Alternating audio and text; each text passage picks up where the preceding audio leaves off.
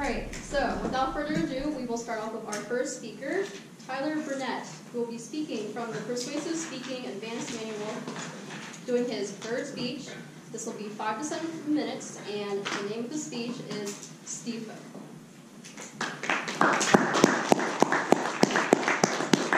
Thank you. Well, well, new year, new you. New year, new you. You hear that a lot, right? I hear that a lot. It's uh, definitely a benchmark time for all of us to try new things, become the uber versions of ourselves.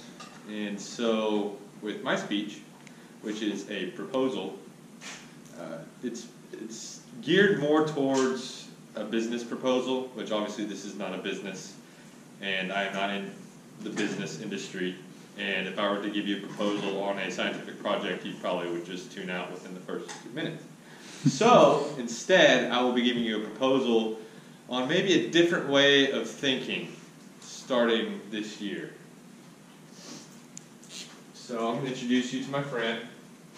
His name is Stefo. Please excuse the masterpiece here. Uh, right. Is actually an acronym. And the acronym stands for Stop, Think, Educate, Form an Opinion, and Open Mindedness. In today's world, we live in a very polarized political climate. Really wish this table wasn't here. Okay, and let's say this is where we are now, right? The left is Nah, the right, the right, I hate the right. The right's dumb. Bunch of ignorant rednecks. The right's like, well, those liberals don't have any common sense. It's my best Texas accent. You'll have to excuse me. And so that is not a way to get things done. If we really want progress, which I believe, connecting to the audience here, is that we all want to move in a somewhat forward direction. And so my goal with Stefo is to bring us more here. We will never be here. Never, as humans currently are now, we will never be completely in the middle, agreeing on absolutely everything, because that would mean we'd all be exactly the same. And we're not, obviously. And so the first letter is S. Means stop. And this acronym is used when you're discussing with someone else on a political topic. So S stands for stop, and it means stop. Stop your emotions, stop your thinking. Take in what the other person is saying. They may be saying something that is disagreeable to you and really like hits home to you. And you, you have to stop and stop thinking with your emotions. Because when you use your emotions, you're not thinking clearly on how to further solve the issue. And the issue at hand is coming closer together. That's what we want. So the first is stop. You're talking to somebody, just stop, say, hey, you know, this is a human being. I don't know anything about this human being. Let's stop and talk. And, and again, this is not going to work with everybody because some people obviously are just, they are the arms folded, not going anywhere. So you stop, and then you think. Use your brain. It's a, it's a beautiful thing, your brain. It can do a lot of amazing things. I've seen it do a lot of amazing things from a lot of different people. Uh, and by stopping and then thinking about what we're going to say, you can create a plan, per se, on how we're going to move forward and you're going to say, hey, there's this thing in front of me, there's this obstacle, there's this what have you, disagreement. How are we going to move forward? What's the best option that that your brain can come up with? Next is educate. E, educate. When I was younger, and my grandfather was on his deathbed, and I feel like he was a wise man I asked him, What is it? What wise, sage advice do you want to give to me going forward? And he told me one thing, most important thing, is that just because you think you're 10,000% right on a subject does not necessarily make you right. Now, this is my personal belief, and I'm about to back it up with a little bit of evidence and explanation. So, let's take a subject. I am about to graduate with a degree in animal biology and animal science. I think it's fair to say, unless you have a similar degree, that I know a, quite a bit more about animal agriculture, the ins and outs. not saying you don't have an opinion or your opinion doesn't matter, but the knowledge on the subject that I do have quite a bit of extensive knowledge. And so even even with that, I also know that if somebody brings up an issue, say somebody from PETA, which is obviously the agriculture industry and PETA usually butt heads, I like to listen to them. I like to say, what is your issue? What is your issue with us? And what, what can we do to better placate what your issue is? Now, sometimes the issue may be, I don't want you to kill any animals. And it's like, well, sorry, I can't really do that. I have a beef operation to run. But, but I also go forward knowing that just because I have all this information at my disposal does not necessarily make me right. And that I should always look more towards, well, what is this person bringing to the table? Because I believe that everybody has at least something, whether big or small, to bring to the table. Now, after you educate, you form an opinion. So say it's say you're educating yourself on a topic that you knew nothing about. You go out and you talk to other people, and I usually spend, me personally, you may find your own time. I usually spend between a week and a month really educating myself on a subject and talking to other people about the subject before I form my first initial opinion. And so that's that's what you want to do because if you sit on the fence you're never going to get anything done. If I sit on the fence, say, well, this, and then, well, that, and never really say, hey, this is kind of what we need to do to move forward, then you don't get anything done. So forming an opinion is important. Now, open-mindedness. Open-mindedness is also important. After you form your opinion, you need to all, continually be open-minded to the situation at hand. Always have open-mindedness. And it goes back to that just because you think you're 10,000% right doesn't make you right. And so I believe I'm over time, so I'm just going to uh, finish with the closing statement. With Stefo, my goal is to bring us closer together. And while we may never be here, we can be here and at least move in a direction forward instead of just looking at each other from across the aisle. And if you think that daily interactions don't matter, well, I I listened to a quote at a, mo- a movie I watched. It was on uh, either women's suffrage or slavery, and it was talking about how like the little people don't matter. And the person said that uh, the, the other person, the opposition, was saying, well, you know, your opinion is just a raindrop. And the other person said, yeah, but Raindrops make oceans. Thank you.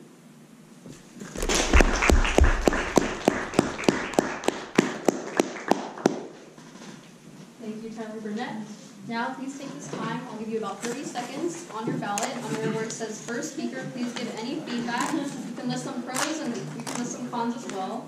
Um, just give your opinion on how Tyler Burnette could do better and list some constraints.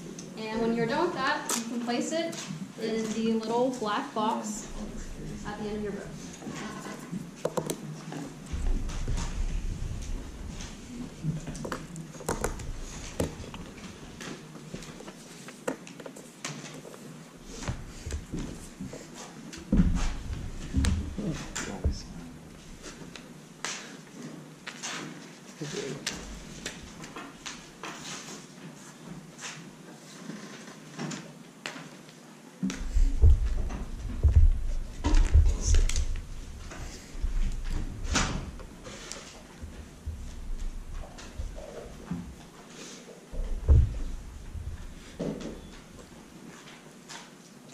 So I will now introduce our second speaker of the day, which will be Zack Varghese. He will be speaking from Professional Speaker Advanced Manual Speech Number 4, and his title is Stand Up Straight. For 10 to 5, 15 minutes, please welcome Zack.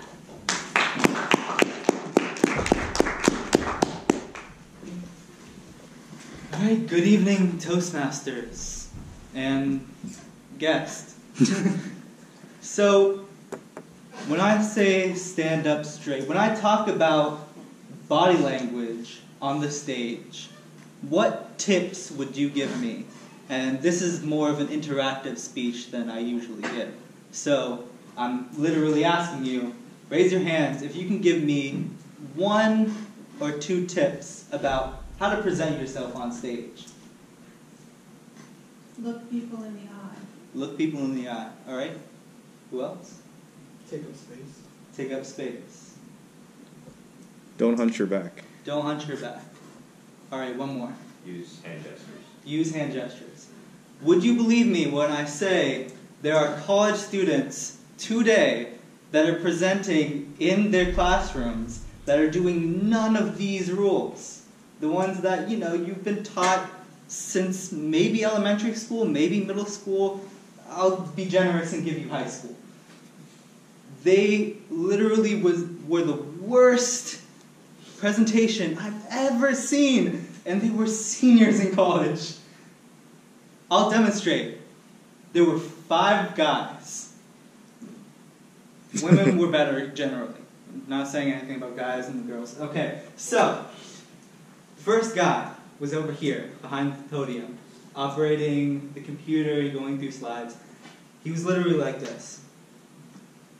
Not like assertive, not anything like that. He had his hands casually on the front and just standing behind. The thing is, when you do that, you kind of look like a dog, like leaning up, asking for food on the table. Because you're just like, right here like begging to some, for someone to not pay attention to you and look somewhere else. So he just stood right here, not looking very assertive, not really seeming like he meant anything of what he said. And the thing is, when you're standing behind a podium, you tend to look weaker than you actually are because people don't see your powerful stance when you're outside of the podium. You usually look like you're just standing, arms to the side, just weaker.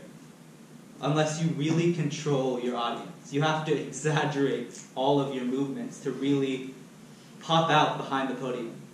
The next guy was even worse. His uh, legs were crossed, and he was rocking back and forth. I don't know how this was comfortable for him, but he did this the entire entire speech. And I was getting dizzy just watching him. The next guy had this. And his, I don't know like how this rocking uh, ever passed any ex- exam or any like practice of the entire speech. They practiced this speech multiple times. And this guy is still hands behind his head, lightly thrusting at his audience. The next guy was, you know, the shy guy of the entire group. And uh, he wasn't looking at you or over here or over here. He was looking exactly at this spot of the floor, staring intently like it's going to change somehow. Hands in, exactly like this in his pockets. And it didn't change when he actually got up to speak. He literally was just staring intently, like he's wanting that spot on the floor to light fire. He's just staring at it. And they gave an amazing presentation, but it felt like the worst presentation out of the entire lot. And I'm not going to mention names because mostly because I don't remember them. But they were so bad even though they presented almost the best presentation verbally. Like if you turned off, you put a black screen in front of us, between the audience and the stage, you would have thought they knew exactly what they were talking about. But the way they presented it, it seemed like they weren't sure if they were speaking English or not. I'll demonstrate how you can change this when giving your presentations or how you or er, present in general. I'll start like I did in the podium. Make sure your hands aren't just here. Don't if you put your hands on the sta- podium or the lectern, you don't keep it right here. This is inactive. You have some sort of in, er, assertiveness. You move your hands a lot because you're standing in one place. You're motionless, according to them, from the waist down because they don't see it. You're motionless on top if you're just keeping it right here. Humans are visual beings, men especially, but humans in general. They want to see something exciting. And if you have your hands right here, you don't exactly seem exciting. Now, if you have your hands expressing exactly what you're saying and continue that all throughout your speech, then you seem excited. Then you seem like you want to their attention. They give you their attention. Next, out in front. Anyone know what a power stance is? Raise your hands if you know. All right, you're my guinea, guinea pig. Please stand up and demonstrate what a power stance is. All right. All There you right, I was planning on like Oh. Oh, okay. forget it. All right, so she did something according to Superman where literally she was just spread feet, hands on hips, chest out. That means confidence. No matter what culture you're in, if you're in India, in China, in Russia, in the UK, over here, no matter where you are, if you stand like Superman right here, you exude confidence in whatever you're speaking. You don't have to do that because it almost seems little comic how you do it because this kind of is strange to normal humans. You can, though, stand more spread out. You can have your arms up here. You have, can express over here instead of the fig leaf or the behind the back. Actually, the behind the back is worse than the fig leaf. Or you can do something more than just keep your hands at your side. Do something. Have some expression. The next is you have to make sure you're looking at every single person in the room. And actually, you don't have to look directly at their eyes if you're a shy person. If I look between Honor and Victor, if I look between Bonaday, and I forgot your name, I'm sorry, Lima. Lima, if I look between Sarena, wow. and if I look right there, I'm not remembering names anymore. It'll seem like I'm looking at every single person in this room, even though I'm not really looking at anyone. And it's always better to look a little bit above the audience than right there. When you look down, it means you are shy. It means you're not very confident in what you're saying. It means you don't want to be on the stage. And when you don't want to be on the stage, they think, why are you on the stage? And then they cut you out. They don't listen to you. You need to make sure you're making eye contact. You need to make sure your legs are spread apart. You need to make sure you're emoting with your hands. You need to make sure you're interesting. Those are all the rules for body language on the stage. And there's a famous phrase with rules rules can be broken, rules are made to be broken. And I've seen plenty of people break those rules and still seem interesting. I've seen speakers that literally are sitting on the side of a table and speaking like this. And the way they're emoting with their hands, the way they're interacting with every single person, the way that they demonstrate their confidence in what their ability is, that speaks bounds more than the guy that's standing over here and not knowing what they're doing. If you have a speech about something that's tragic in your life, the last thing you want to do is have a smile on your face standing up here with a Superman pose because you sound like a psychopath. You want to really show your audience what you're talking about. You want to be the illustration of the story you're telling. No matter if it's a sad story or a happy story, you need to look it. So, I've given speeches where I'm literally starting out leaning on the wall, cross my legs and looking down, and kind of like have my hand up, up on my face, rubbing my neck. And that's where I start because it's a sad start. I'm not starting like I'm the most joyous person in the world speaking to you, like it's the most exciting moment in my life. I'm speaking like I've just went through a tragedy. And that is a perfect illustration of the point I was trying to make. We need to be illustrations of the points we're trying to bring across through our words and have your body be a mic or a speakerphone for the words that you're saying. And with those tips, I believe that any single person in this room can become an excellent, not only speaker, but performer on the stage. Thank you.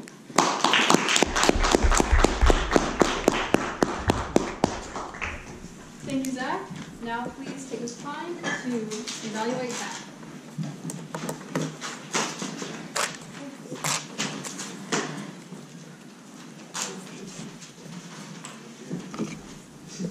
It was like the best speech I've ever given. Most no. Oh, I love your speech. Thanks.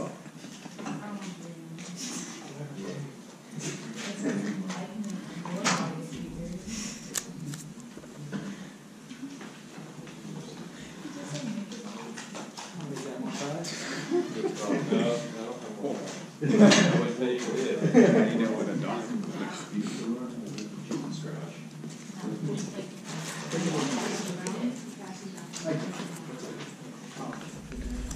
No, I need to write here about it.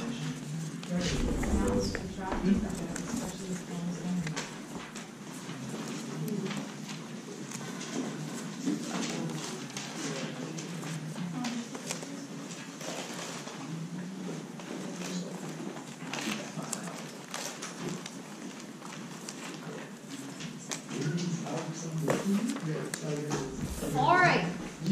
Have you ever wondered why all of a sudden we have needed to use two-factor authentication for everything at UGA? Well, here to that, this is Tyler Chan. He will be speaking from the Storytelling Advanced Manual, speech number five for seven to nine minutes. Give it up for him. Thank you. All right. Before spring of 2018, times were a lot simpler. Back in the days when you went to log into ELC, Athena, or UGA email, all you had to do was put your UGA ID and your username, and then put in whatever your password was for that six-month iteration. I'm pretty sure most of you would save your username and password into the browser cache anyway. So every time you log into the CAS or Central Authentication Services page, your username and password is already there. You don't have to do is log in. But post spring 2018, UGA has made this process a lot more aggravating in that now there's two-factor authentication. Since all of you are students here at UGA right now, I'm pretty sure you all know what two-factor authentication is. To give you a general idea about what it is, basically, the name kind of says it all. You need two factors of verification to access a piece of information or to access an account. Which means not only do you need your password, but you also have to have an RSA token that would be a temporary password to enter, or respond to a notification, push notification from Duo Mobile. If there's ever a situation where you're thinking there's too much security, this is one of those situations. Because people usually don't think that. It's like, oh, more security, that's good. No, this is that's bad. Because this is something we have to access almost every single day. But why do we have two-factor authentication in the first place? This is something that was not a thing until post-spring 2018. Well, it all started in 2014. when a student named Michael Williams became a student here at UGA. He was a valedictorian of his high school, came in with Zell Miller, and also he got other scholarships such as the Coca-Cola First Generation Scholar and a few others. While at UGA, he also got some certifications from Lean Six Sigma Yellow Belt to Salesforce Administrative Certificate. All these things from grades, certificates, everything, internships at big firms like IBM and Coca-Cola. This was the ideal student that Terry College of Business wanted in their program because he was an MIS major. And this is a student that the University of Georgia wanted to graduate from the, from the university. Everything was looking good. It looked like if this student were to just keep going and just keep doing what he was doing, he would get the ideal job. Technology consulting, any kind of consulting, project management, anything. But in March 2016, he joined the EITS team. EITS, which is Enterprise Information Technology Services, or the UGA IT team, anyone who has Wi-Fi problems, network problems, or just can't log into their account because they forgot their password, these are the people you email or call on the phone to make sure that they can help you out. And because of that, you need heightened privileges on your UGA ID account, which means you're able to access anyone's account remotely and able to help them. Because of that, Michael was able to access anyone who had a UGA ID account here at UGA. Not only do students have a UGA ID, but also faculty have UGA IDs. And that includes their professors. And once you get their UGA ID, you can log into anything from their ELC, their Athena, even their UGA email. Most people at EITS, they are entrusted to make sure they don't, you know, abuse their powers and log into all these things. And it hasn't happened since then. Or someone has done it and just not been caught. But this is a man, Michael Williams, who just who found this power and decided, you know what? I can actually log into my professor's account and change my grades. So he did that during his first semester at EITS. At the very end of the semester, he logged into his professor's account, changed his grade from a B minus to an A in any class, such as MSIT 3000, any class. And he got away with it. And he thought, you know what? It worked pretty well. I'll just do it again. So then the next semester, in the fall, 2017, did it again. Logged in, changed his grades, but not only his grades, but other people's grades too. So if anyone noticed that the grades are changed, they wouldn't be able to figure out who did it. And it was also very clever because you can't change your grades just any time during the semester because they have to correlate on ELC and Athena. If at the end of the semester they don't correlate, then the professor will get an error message and then you'll have to go in, he or she will have to go in and fix it. So there's only a very small window that Michael found out that you can change these grades where they will be synchronized across both platforms. And that was on the day at the very end of the semester when grades are due. That time, from midnight to 2 a.m., he would go in every single semester at the very end and change the grades on Athena and ELC. And they'd match up, and then he would change it for other people as well. It worked every single semester from 2014 all the way until his last semester of 2018, when he changed his grade in his cyber threat intelligence course. That's when everything went wrong. he changed his grade for a professor who was a professor in cybersecurity. now you're thinking, if this is his first time, clearly you wouldn't do it, but it's worked every single time so far, so why would it fail now? And especially in his last semester. But the professor, Dr. Lee, I'm currently taking right now, he told us that one day after grades were due, he tried to log back into ELC afterwards. And then all of a sudden he couldn't log back in. He contacted EITS and he asked, why can't you log back in? He didn't authorize password change or anything. And then EITS said they didn't either. But only a few people have high enough privileges to access and change these accounts, like so. And they traced it back to Michael. So in his final semester, he was convicted of 80 felonies. Because every single time you log into another person's account, that's considered a financial issue because if, say, you change your grades to keep a scholarship like Zell or another scholarship, that can cost the state thousands of dollars or another company thousands of dollars. So that's why it was so significant. And also, they wanted to make an example out of him, in my opinion, because after hearing that, no one else would want to do it again. I talked to a few other professors who had to also be interviewed at, for, for being professors of Michael, and they all said kind of the same thing.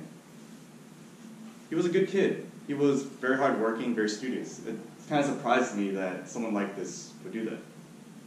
And I looked at his link, LinkedIn. It was really depressing because it said all these things such as aspiring technology consultant cybersecurity. It was all lined up for him. But he cheated his way through, and then now he faces the consequences. And now we all face the consequences.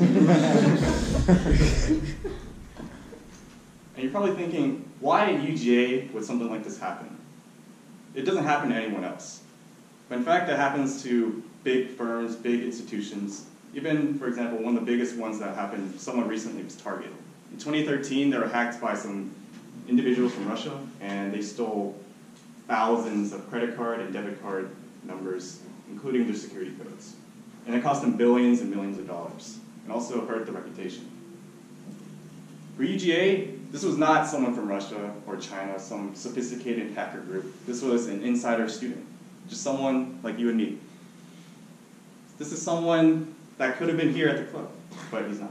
and this is someone who's supposed to graduate a year ago, but he didn't because he failed. So, if you're going to take away anything from the story, is that you shouldn't cheat.